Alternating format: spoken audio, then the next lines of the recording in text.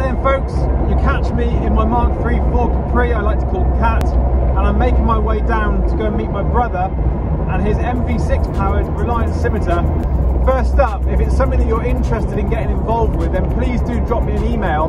I'll pop it in the description below. And just drop me an email, send me a couple of pictures, let me know what your project's about. Around about the southwest, Midlands is doable, um, but if it's any further afield than that, it might take a little bit of organising, but I'll try and get around to it over the winter at some stage. So yeah, drop me an email if it's something you're interested in doing. Anyway, on to the day. This is Laurence's car, and he's had it since a couple of years before I bought my first Capri.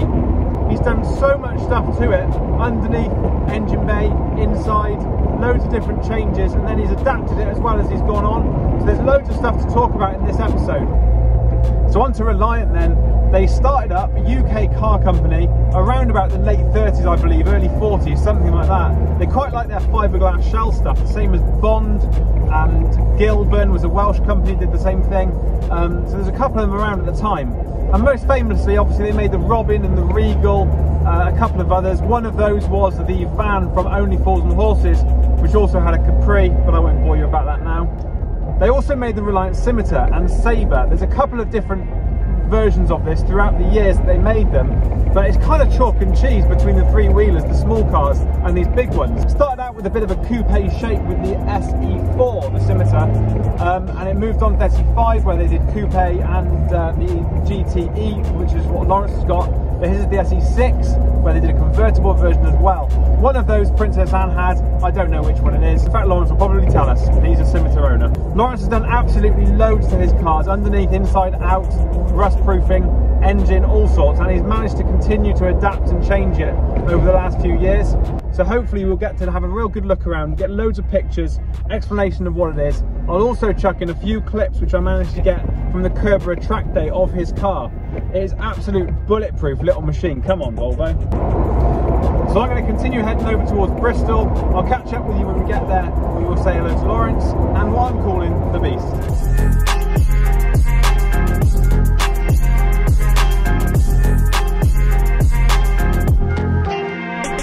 Mentioned already about uh, the fact that I kind of grew up with the car.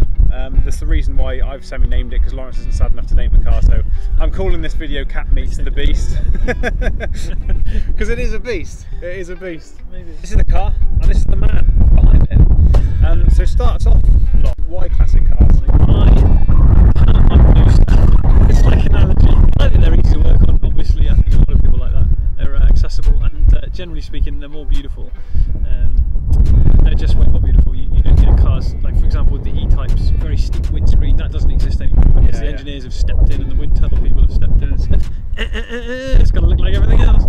Uh, that's that's a big bit of it for me. I think not, not brilliant, but you can make them brilliant. That's the thing. I started with this car because I like the look of it, and I knew I could alter everything else to get it how I wanted. Uh, but the look, you, you can't. Well, I don't have the skill set to do anything like that. So yeah, yeah. But you saw this next to not this particular one, but a Scimitar near um, our parents' house when we were really, really young. Yeah, yeah. I, was nine, I was nine years old and I, I looked across. I think my dad might know what it was, so he, he told me what it was. And uh, yeah, it was within about a mile, so I cycled back and looked at it later. and uh, yeah. I loved it. I just loved the shape of it. To me, um, you think I'm mad because it's a Scimitar. Most people don't like it, but it's it's got the shooting brake and very FF. Um, uh, Z3M Coupe. Great, great kind of shape.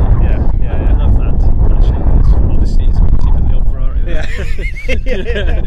So you, he was weighing upwards to buy a Ferrari yeah, FF a right Scimitar. It's like half a mil cheaper. So.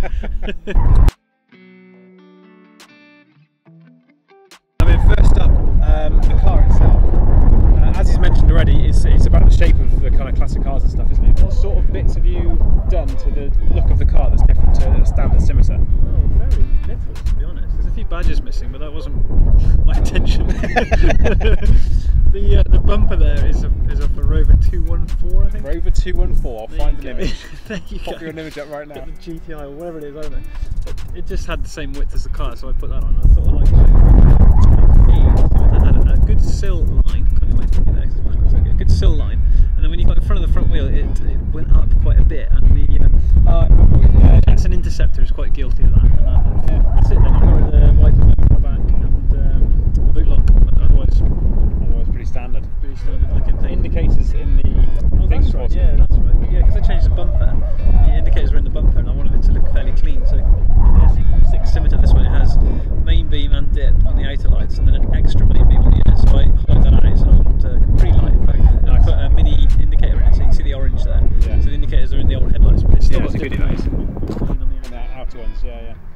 What about the wheels? The wheels are really, they were hard to find like 10 years ago. They're impossible. They're, they're off a Caterham. They're a Caterham a special edition HPC, it was called. They're 5 spoke 16 inch alloy, which I just like the look of. I'm, I'm a 5 spoke guy. They, uh, yeah, I like them. They work really well. They look great. I keep looking because I'd love another set for drifting or something, but you can't find one. It's a fiberglass body on a mild steel ladder style chassis, isn't it? Is that right?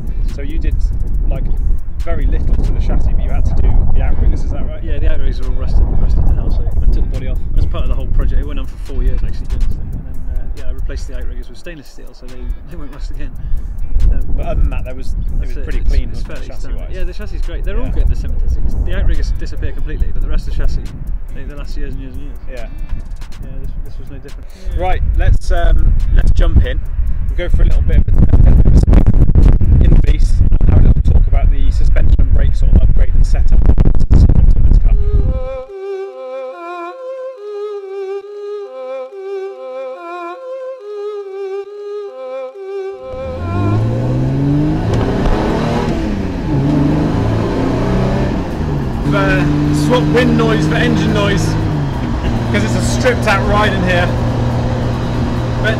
can you take us briefly through your suspension and brake upgrades that you've done? It's um, the Scimitar has pretty good uh, suspension in terms of its uh, it's double wishbone at the front, and if you accept the baggage of having a, a beam axle at the back, it's located uh, in the best way that you can locate a beam axle with a four link and a Watts linkage. So it's all right, you know. If you're up in the hills of Wales, you feel the limits going over bumps and whatnot, but on a, on a flat track, it's pretty good. Um, obviously, they got the spring rates quite badly wrong, I think, from the factory. Trunnions can snap.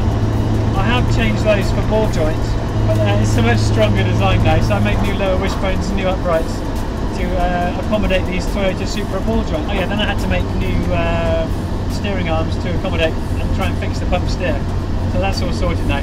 Other than that, it's an upgrade in spring rates and dampers basically. So the improved, yeah, the handling's improved nicely. Standard power steering. Yeah, that's it really. The brakes, they uh, they were pretty hopeless. They were pretty hopeless. I mean, they were pretty bad. You could get them to fade with a bit of spirited driving with the old Essex engine. The drums on the back, they, they were okay. The drums quite strong. The discs on the front were solid, solid discs, and uh, single pot or two pot opposing pot calipers in it. So I've changed all of that and done a lot of calculations to get the balance right, front to rear. So the car's nearly 50-50 weight balance, and I've studied a few other cars like that, which are close to that. The, M- the old E36 M3, 46 M3, some TVRs and things like that. And uh, downloaded the, the details for all their brake dimensions, disc size, pad height, and piston size. And you can work out that they get something like 60 to 65 to 70, something like percent front braking to rear braking for a 50-50 weight distribution car. So I aimed for that, you see. And then you trawl through the parts bins of what's available to you until you find something which works. So, so it's got Mondeo front calipers, which are not at all exotic, and Rover 827 discs. And then on the back it's Sierra Cosworth uh, discs and pads, both vented front and back Yeah. uh, discs and pads. With yellow stuff pads, I find them to be fantastic.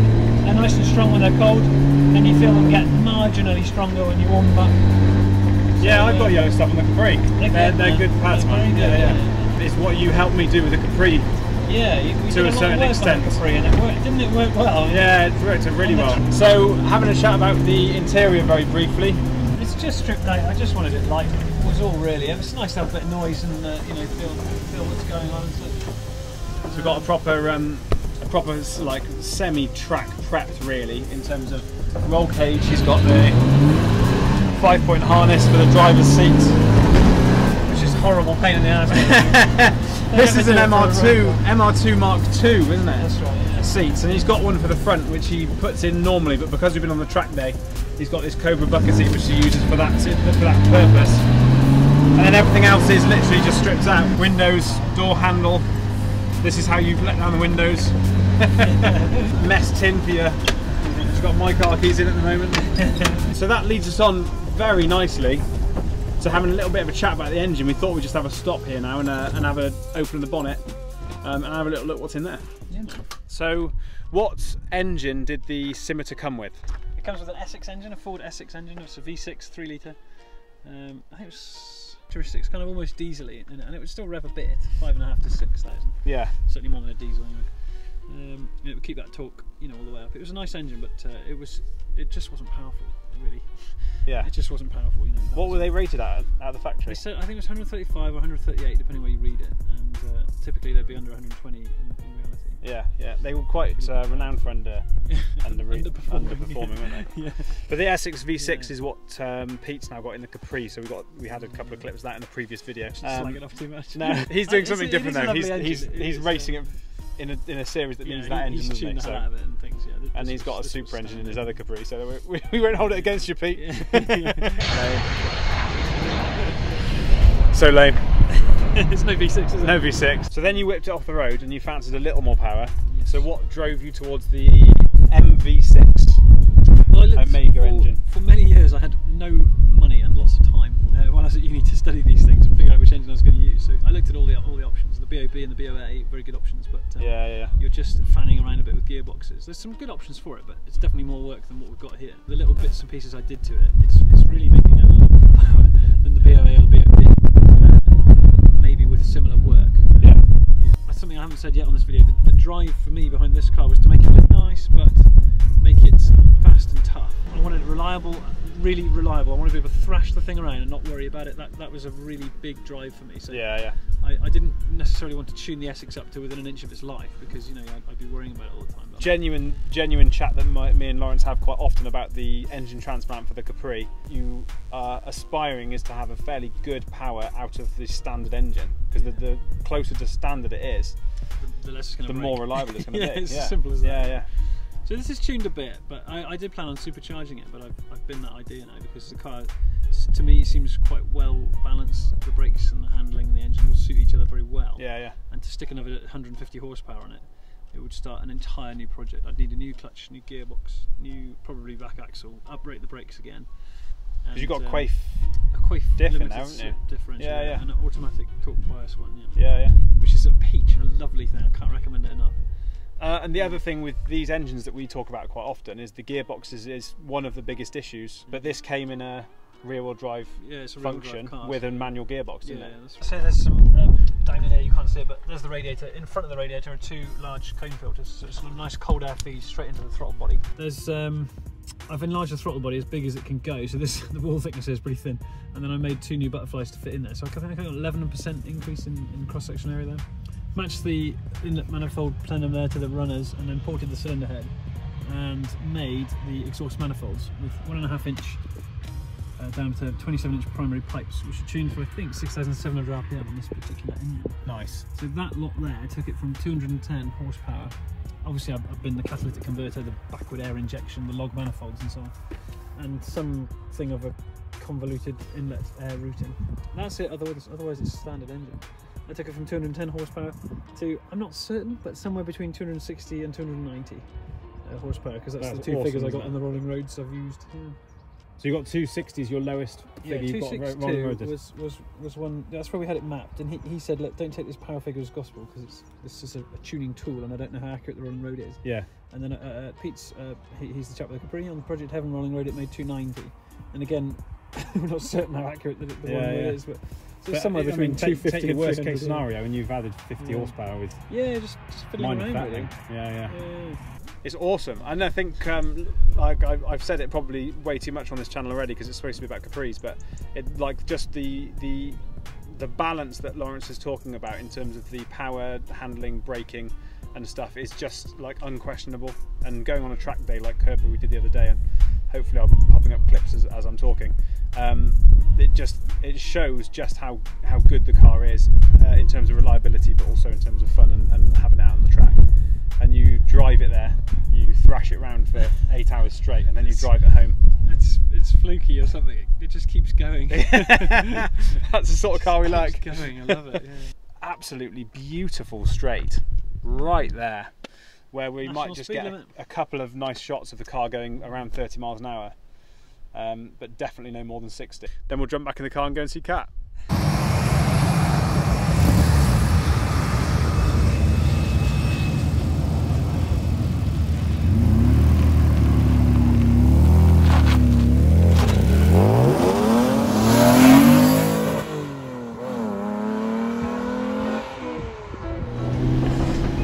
Alrighty then folks, that is Loz L and his MV6 powered Reliant Scimitar I nicknamed The Beast. Uh, it's been a grand day out having a little look over the uh, the car, ins, outs, under the bonnets, bit of a drive, a um, few clips of Curborough as well. Um, and it's been absolutely wicked to catch up and actually film this video because I said it's my third attempt now. but we made it! Yeah! Yeah, we finally did it. Hopefully over the coming months there'll be a couple more meetups with Laurence um, out driving and stuff so hopefully that's gonna that's gonna match up. As I said before I'm trying to make this a bit of a new series for my channel Kat meets other classic car owners. Um, I've look, uh, we've seen Natalie, we've seen the Beast, and it'd be great to see if anyone else out there fancies doing this. I've got a couple more already um, lined up for September, so um, make sure to hit that subscribe button so you don't miss out on those episodes as they come out. Uh, and let me know what you think in the comments below. Links in the description for Loz L's channel. Again, lots of garage tinkering stuff a little bit more in depth than myself. At the moment he's working on a Series 3 Land Rover, which is absolutely awesome to see. So that's it for now guys, you take it easy and drive safe.